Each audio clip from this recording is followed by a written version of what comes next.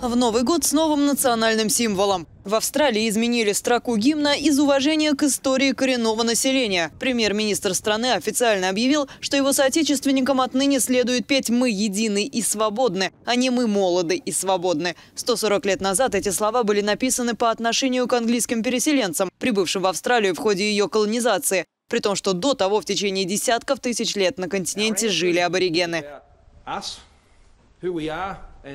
В гимне речь идет о нас, о том, кто мы, кем хотим быть. Мы сильная и динамичная либеральная демократия. Мы живем на вечной земле древних народов, коренного населения. Нас объединяет общая история более 300 национальных, этнических и языковых групп.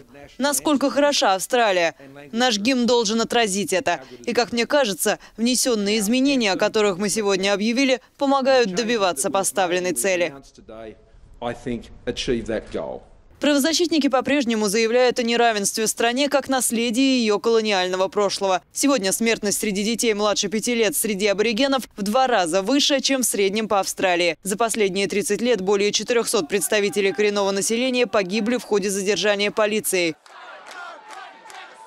От властей ждут смены еще одного национального символа. Ежегодно в стране проходят протесты 26 января, в День Австралии, который аборигены именуют Днем вторжения. Выбор даты обусловлен прибытием 26 января 1788 года Первого флота и провозглашением над восточным побережьем британского суверенитета.